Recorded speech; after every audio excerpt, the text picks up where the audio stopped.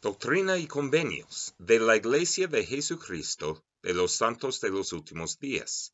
Sección 118. Revelación dada por medio de José Smith, el profeta, en Far West, Missouri, el 8 de julio de 1838, en respuesta a la súplica, Indícanos, oh Señor, tu voluntad en cuanto a los doce. 1 a 3 el Señor abastecerá a las familias de los doce. Cuatro a seis. Se llenan las vacantes que había en el quórum de los doce.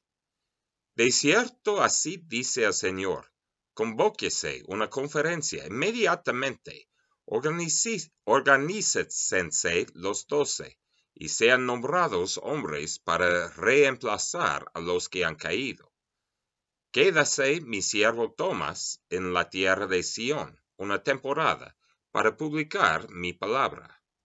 Continúen predicando los otros desde esa hora, y si lo hacen con corazones sumisos, con mansedumbre, humildad y longanimidad, yo el Señor les prometo abastecer a sus familias, y les será abierta una puerta eficaz desde ahora en adelante salgan ellos la primera primavera próxima para cruzar las grandes aguas, y allá promulguen mi evangelio en su plenitud, y den testimonio de mi nombre.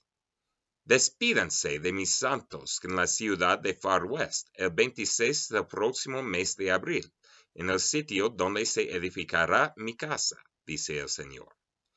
Nómbrese a mi siervo John Tyler y también a mi siervo John E.